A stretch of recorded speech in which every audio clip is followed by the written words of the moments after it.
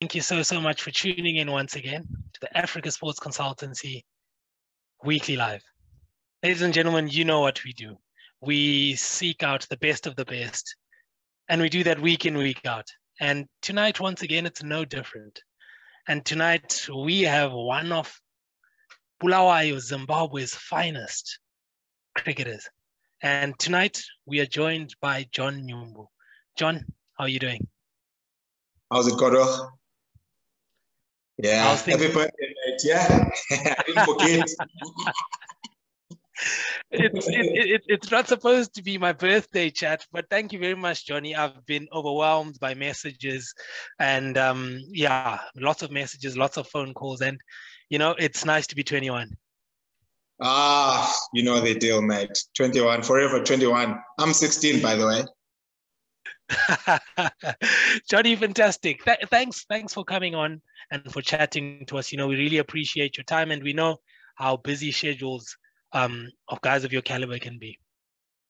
No, thanks very much for having me. It's, uh, it's an honor to be on this platform. I've been following it quite a bit, and uh, I actually like what you what you guys are doing. And it's uh, for me to see someone that I've seen growing up, you know, I've played with, he's captained me, and to see you doing things of this magnitude, you know, it's uh, it's, it's really a blessing for me. Yeah. Johnny, what did you like? A Ferrari, a Lamborghini? What is it that you like? You're just too kind. Just too kind. Look, fantastic, Johnny. The time goes really, really quickly. It, it it flies through, and you know, there's so much that I certainly want to hear from you, and I'm sure the our viewers have so much they also want to hear from you. You know, it's John Nyumbu, who's Johnny, and you know, you. when we start this conversation, Johnny, you're someone who making your first class debut. I think it's 2004, and today we're at 2021. Did you think we'd be having this conversation today?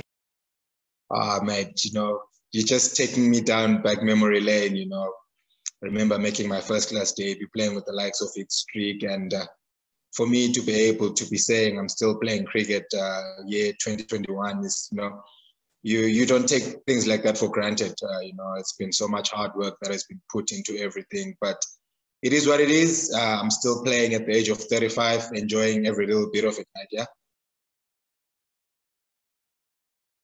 You say 35, but I'll just round that off to about 36 because you're nearly there anyway.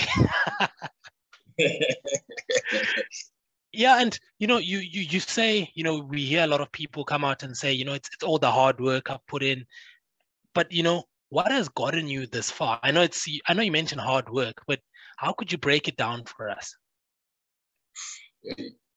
God will, you, you've been in in the system that we're in now, you know you know what it takes. You know, it takes uh, you putting in the hours with your skill. It takes uh, a whole lot of work ethic. It takes a lot of sacrifice. You know, there are certain things that you have to sacrifice. You know, to be a, a sportsman, not only in Zimbabwe but I think everywhere else in the world. You know, uh, but above all, I think for me there are two pillars uh, that have actually strengthened me from the time I started playing to where I am now. One is my family. You know, my immediate family, my wife and, and, and my kids, and then my parents and all, but also the God factor in it all, mate. Because I, I think without God and without his favor, without his guidance in everything, we cannot achieve uh, what what we achieve. So I think those are the two main things that have uh, that have actually helped and, and and molded me to be the person that I am today. Wow, Johnny, that's that's absolutely amazing. And you know, you you you say that um, professional cricketer John Nyumbu today, but at one point it could have been professional footballer. yeah, man, I, I I think I get that a lot, you know, from the guys that knew me when uh, when we were growing up, you know. So to them, it's like a wow, you're playing cricket now, you're playing for Zim now, but we thought you're going to play for Highlanders, you thought you're going to do this, but you know, life deals you certain cards that um, uh, you, you, don't anticipate. And to be honest, I never thought I would play cricket, but chance, you know, uh, made it happen. You know, I was I was playing cricket at Milton High School, social cricketer, you know, and um, our team, our under 16 team, didn't have enough players, so I just used to, used to tag along with some friends. And, uh, you know, it was towards the end of the season when we're playing against MCC at MCC and the team, I think uh, they needed about 10 or 15 runs uh, with five wickets in hand. And uh, our captain then like, Ahmed, you've been standing at slip the whole time, the whole season. Why not just roll your fingers and and, and see what, what what you can do? And and luckily enough, I managed to get five wickets in that game. And that game, I think, is the turning point of me realizing that I can actually play cricket. But I still didn't stop playing football because I think I played football up until upper six at uh, at Milton High School, and uh, yeah, I, I, had great company in our teams, and it was also a nice thing to do, you know. So cricket ended up being the winner. indeed, Johnny, indeed, and you you're talking about a fifer the first time you ever bowled. I'm going to come back to that in a minute uh, because there's a lot more you need to tell us about this fifer on debut thing. But now you've obviously got soccer on one side, you've got cricket on the other side. What made you decide to go cricket? I think because uh, I stayed in suburbs, that was like uh, a five minute walk to Milton High School. So for me to actually live there and maybe, let's say, go to Barbourfield Stadium where the Highlanders juniors were practicing and uh, Machobane where Zimbabwe Saints was practicing, it was a long walk for me, but BAC was closer. So I ended up going to BAC, still taking along with the same friends that enticed me to play uh, cricket at uh, at high school. So that's how it uh, that's how it ended, you know, for me. But I'm still an avid football follower. I'm still an avid football player. So I, I reckon I am a footballer who plays cricket. oh, Johnny, Johnny, Johnny.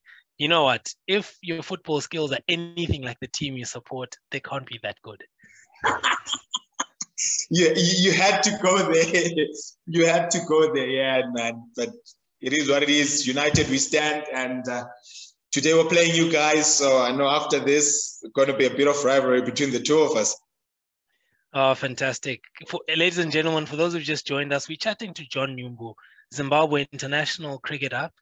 And as, as you've just heard, what, what a journey he's been on. Someone who could have ended up playing professional football but there he is playing cricket. And now, Johnny, you, you've said you've gone the cricket route, and I hate this question, but I have to ask it. Are there any regrets? In life, there are never any regrets because you you take what you've got, you know. And many people say, "Why didn't you play soccer?" But maybe I would have played soccer. I wouldn't have made it.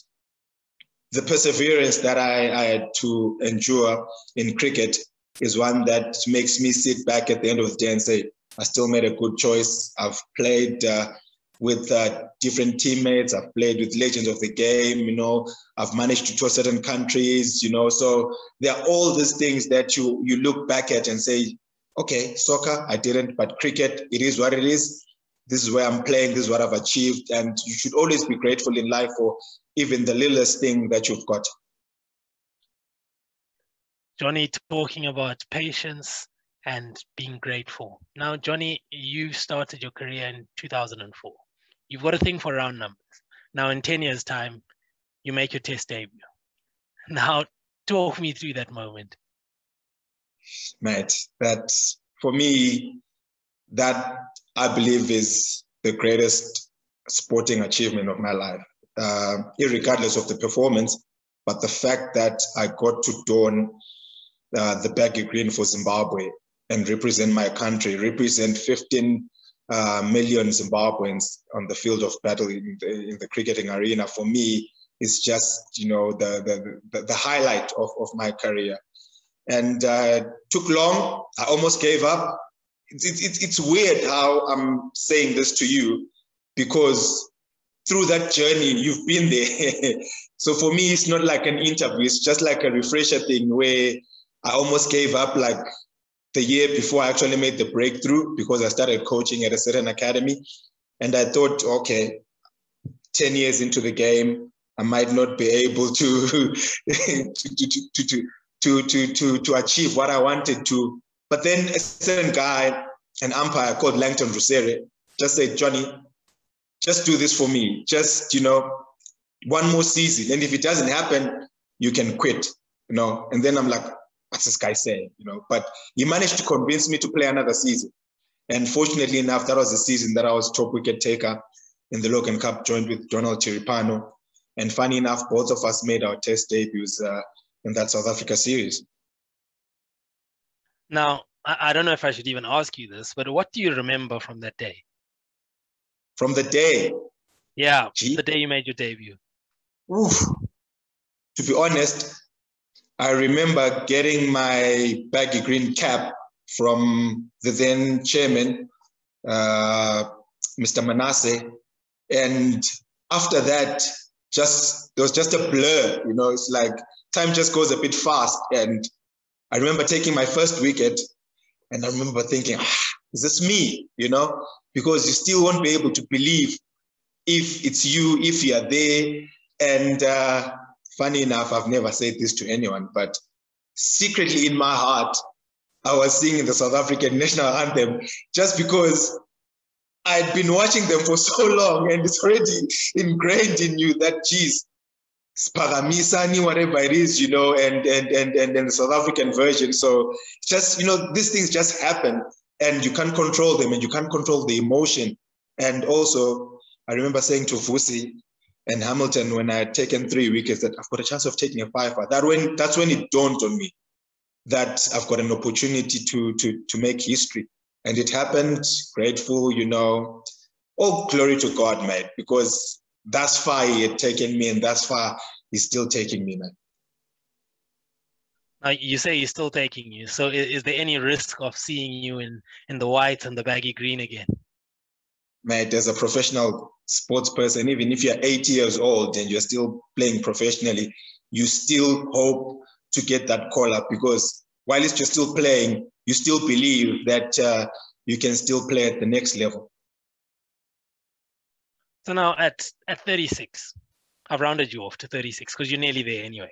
At 36, you walk out of the Zimbabwean domestic one day uh, championship as the top wicket taker. You walk out of the Logan Cup as the second highest wicket taker. And then you go to the 2020s and then you're bowler of the tournament. How has all that come together in one season? Mate, uh, the lockdown, uh, I'll call it Project Lockdown.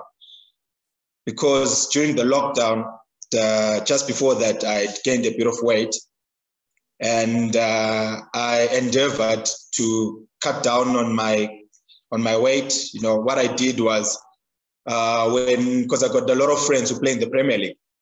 So when they were also doing their lockdown work and playing these little mini games, I would actually wake up in the morning because the games are always at six o'clock in the morning. I'd actually wake up in the morning. I bought um, a plastic bin bag that I wore inside uh, my, my, my, my training stuff.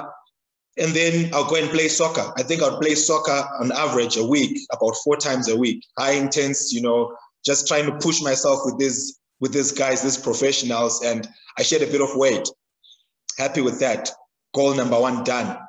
And then just before we started, I would go to BAC and I would work with Fleming Gomo. I'll work with uh, Slim, you know, Slim. I'll work with Pollock on what I wanted to achieve during the season. And uh, lucky enough, all that little bit of hard work that I put in during that project lockdown uh, amounted to to the success that I had in the in the domestic setup. And it all goes to show that with hard work, with perseverance, uh, you can never go wrong. I was a bit lucky with some of the wickets. You know, you create your own luck, and I believe the hard work that I put in enabled me to be in a position of luck in in in, in the games. And uh, yeah, pretty happy with the with the outcome of the season. Absolutely fantastic, Johnny. And I take off my hat to you with with the hard work you put in. And tell you what, we having watched the Zimbabwe Pakistan Test series, we could have used a lot of your luck. And you know, it's one of those things and hopefully in the near future we'll be seeing you back in those colors and i can see just behind you there we've got Nyumbu 16 mm-hmm. hopefully we can be seeing that soon enough. But you mentioned something to me there that you're a professional cricketer in zim but here you are you're playing professional football. And if we go back a couple of years we had tendai chatara break his leg playing football in in zim. And now it goes on to make me ask the question being a professional athlete in Zim, how has that been for you? Yeah, man, you know, it's got its challenges, you know, and um, I can say it hasn't been as easy as people think because of the general misconception, like in the town or when you walk around in the streets, people see a cricketer, they think, oh, they're the most moneyed person in the country. But with the economy and everything that has been going around, it has always hit, it has also hit the pocket of, uh, of the cricket. So it's also just up to you as, a, as an individual to, to say, this is what I've got. I've got lemons or I've got oranges or I've got apples. Let me make my own, let me make my own juice and, and, and, and make the most out of it. Because at the end of the day, uh, you can have all the money you want, you can have everything you want, but if you're not enjoying what you're doing, it's uh, it's it's it's all it's all it's all futile. So I think the enjoyment part of it also enabled me and the competitive nature of, of, of, of, the guys that we play against, you know, when we're playing against Mountaineers, when we're playing against Eagles, just that Mathebele pride that we've got, you know, not wanting to lose to those guys, not wanting to give anything away, you know, also pushes you to actually try and work as hard as you can and making sure that, excuse me, you do well for your team, you do well for yourself, and above all, you do well for your respective provinces and the country in general. No, certainly, Johnny. And really, you know, when you say that, it goes to show why, you know, your test debut meant so much to you. And you mentioned having 15 million Zimbabweans that you're going out to represent. And look, it must be challenging and it must come with its own difficulties, which you have mentioned.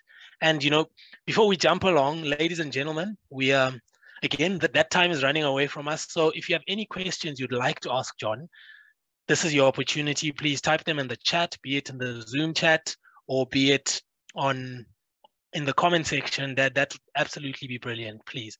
And now, John, like I said, you you you mentioned this, and yes, you want to go out and represent your country, but again, you have a family, you have a wife, you have children to look to, to look after. So all those challenges put together, for me, I always take my hat off to Zimbabwean athletes who go out and perform at their best, given all these background challenges that no one seems to think. But in, in saying that, what has been your biggest challenge throughout your career? My biggest challenge throughout my career is um, myself. That's what I say, myself. Because when I look into the mirror and I see that John, I want to make sure that that John is the best model of the John Nyumbu that he can be. So it entails me going to the gym. It entails me working out on my fitness. It entails me uh, watching what I eat. It entails me looking to better myself each and every day and making sure that my family is well taken care of. I've been fortunate that uh, I've had a supportive wife, you know, uh, through even the bad times when I wasn't um, as, as, as much of a contracted player as I wanted to be in terms of remuneration. She always managed uh, to bring out the best in me, to tell me that there'll be better days and uh, and everything. But in saying that, to answer your question, the financial aspect of everything as a professional sports person in Zim is always a challenge. You know, you always want to ensure that you are well catered for financially, not only when you're playing, but also post uh, post career when you've retired. You know, you always want to make sure that your kids uh, are well catered for in terms of school fees, in terms of uh, clothes, even your rentals and everything. So I think the financial part of it has, has been the biggest challenge for me. And also, I, I, I, I can attest to this for all the other uh, sportsmen and in Zimbabwe. But we believe that we're doing what we like, we're getting paid to do what we like, and there are always uh, better days to come in the future. Wow, Johnny, you you you threw me off course. But and you just saying that, and I, you know, I laugh, but in you just saying that, that just hit a string in my heart to say, going back to thinking about why, you know, I'm involved with what I'm involved with now and the amazing team I have behind me who are trying to push this narrative to ensure that these challenges you talk about, these financial challenges and these challenges within your career be it post or prior to you your playing days being over, there has to be a plan. There has to be that plan B. There has to be that place where we know that Johnny is done and there's something for him in the future, which you know you rightfully pointed out to be a challenge that does exist. And you know, before I jump into the into all of the questions, for me, it's I look at you and it's like Johnny, you're almost 36. You're doing well at your cricket, and I'm glad. And I'm hoping that you can defy the narrative and go on to play till you're 40 and be the Gigi Buffon of Zimbabwean cricket. But for you at 36, where, where's your headspace at? Yeah, I think for me, uh, I love coaching.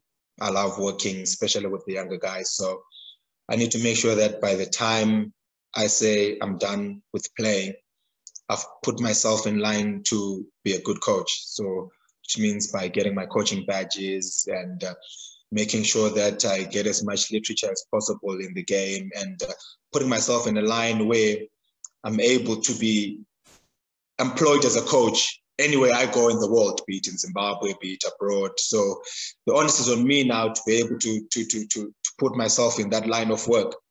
And uh, another thing that I enjoy is I enjoy commentary because you know I like talking a lot. So that's the only other place where I can actually use my my my, my strength. So I enjoy commentary. So for me, it's coaching and uh, and commentary, and uh, I'm hoping that within the next couple of years, I'll have uh, I'll have done well for myself to align myself in those two directions. Look, all the best to you, Johnny, and your someone who a, a, lot of young people would definitely be looking up to. And look, I could keep going, but I'm just looking here in the in the in the chat, and I see I, I like this question actually from Andy Finland. It's brilliant. Uh, he says, talking of diet, what is your guilty pleasure food wise? like I said, it's, it's it's it's weird how I'm talking to you about this you know, I like my food, mate, and that's one of the toughest things that I've had to do to cut down on on a little bit. But uh, I like the sweet stuff, so I like the cakes, you know, I like the muffins, and also that's that's that's that's my my my guilty pleasure. That, that's my vice, mate. yeah and, i'm looking i'm looking through the chat as well and i can see there's there's a few comments there and one that's quite a sweet one is hats off to the wife um and you know that that's absolutely brilliant to to have someone who's there supporting you throughout and you know you you you can't buy that. Um i'm just waiting again. I, i'm going to look over here in the questions but one i had to ask you myself is your biggest wicket. Yeah ab was my biggest wicket mate AB was my biggest wicket because I remember at the time we were playing against them, he was bullying everyone around. He'd come from Sri Lanka, had scored runs, and prior to that, he had scored runs in South Africa. And uh, like I said, I remember when they asked me this question uh, at the post-match thingy, they said why. So I said, for me to bowl to the best batter in the world was an honor, but for me to actually get him out was an even uh, bigger honor. So yeah, AB for me was was was and still is my biggest wicket. Yeah.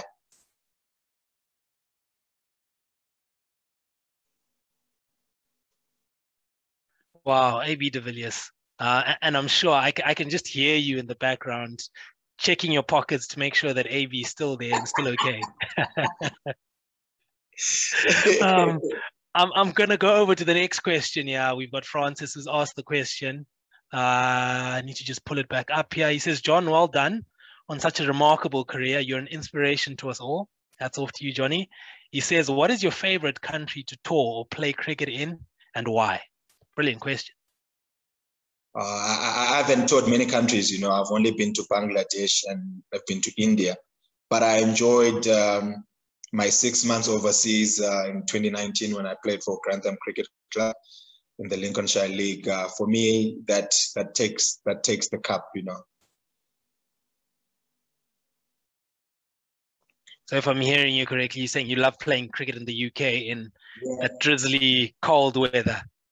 Funny enough, when I was there, it wasn't really that cold. It was only cold maybe for the first couple of weeks. But then after that, I think they recorded the their hottest summer. So it was like uh, home away from home, and uh, I got to go to Manchester at Old Trafford. So that just topped it all up. well, anyone who's watching out there, Johnny is an avid Manchester United supporter. So no surprise he had to throw them in there somewhere. now, Johnny, I, am looking here again. An, another question. So, obviously, you've grown up also watching cricket and aspiring to be like other people. Who was your role model growing up? To be honest, I didn't aspire to be any one of the internationals because, as like I said, as I was growing up, I wasn't really a cricket person. But the person who really brought the best out of me, who really inspired me, was Keith Dabengwa. He coached me when I was young, and uh, I learned a lot from him.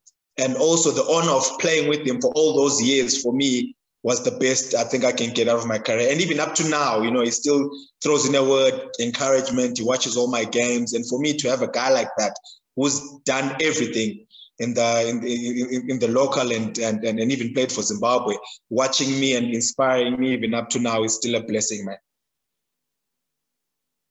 you had to throw it in there. Your best friend, Keith Dabengwa, um, absolutely brilliant. You know, you know, he's someone who's done well for the country, and I'm definitely hoping to see if I can get him to chat to us because he's someone who's gone through the whole way and continues to inspire, like you've rightfully said. Johnny, we are running out of time, and I'll see if I can squeeze in one more question from the chat. But there's one question that I have to ask you, and it would be coming from Bulawayo and having come up from where you've come from what would your advice be for any aspiring young athletes, any young boys and girls who, who are going to watch this? The, the old cliche, hard work pays, you know. And uh, in hard work, it doesn't mean just working hard, but it means working hard and doing the right things. So for the young people that um that are watching this, I encourage you to keep working hard, be disciplined, and like I said, for me, the God factor uh, uh, uh, helped a lot in, in, in shaping what I am today. So I believe those are the three things hard work, discipline, and God. Amazing. And you, you, you've nailed it there hard work, discipline, and God. And if there's any young people watching this, then you know where to go, you know where to start from with Johnny. Now, now, Johnny, you, you're someone who I'm looking over at the at the questions, and we won't be able to get through another one because we've got literally one minute left. Um, but you're someone who takes pride in, in, in their batting, like Chris Mpofu. I had Chris Mpofu here before, so I'll, I'll, have to ask you, what's your most memorable batting inning? Oof, my most memorable batting inning was um, when we played against Eagles, uh, and Harare and Brian Vitori was just running in and bombing everyone. I managed to evade him the way that I know how, just fall over the place and make sure I don't get hit. And I managed to score a 50 in that game. And uh, to lead up to that, I got five wickets in the same game. So I think that was most memorable inning for me. Fantastic. And um, look, you scoring a 50, you must be immensely proud of that. Um, I'm just glad you went like Chris and told me about your 100, which he just doesn't stop talking about and yeah, look, Johnny, fantastic. Like you said, it's been brilliant talking to you. It's nice and easy. And I know the viewers at home really appreciate you taking your time and coming out, chatting to us. And you know what? Thank you so, so much, Johnny. No, thanks very much, uh. Uh, I'm happy that you guys are doing this, and I pray that God elevates this company to greater to greater heights because it's not for you; it's for the next generation of sports uh, of sports people in Zimbabwe, in Africa, and hopefully abroad that will that will use you wisely and they'll get the best out of it. So good luck in all your endeavors, mate. And thank you very much for having me on your show. Cheers for that, ladies and gentlemen. Thank you for watching. You heard it from Johnny and Johnny Nyumbu, and as Johnny mentioned, as Africa Sports Consultancy, we are striving to ensure that young African athletes, be it current or those post playing, have something beyond their career. And you can visit us at www.africasportsconsultancy.com. So because today is my birthday, I will not be signing out in my usual way. Johnny, you would be jealous because I've got a cake here um, that I'm going to be enjoying. so one of your guilty pleasures, and you know, like you said, it's it, it's nice to have those people who love and care for you and can do this for you. So shout out to Steph. Um, and fantastic, ladies and gentlemen. Next week, same place, same time. Do join us, and we will be chatting to another fantastic guest. But for now, take care of yourselves and keep sanitizing.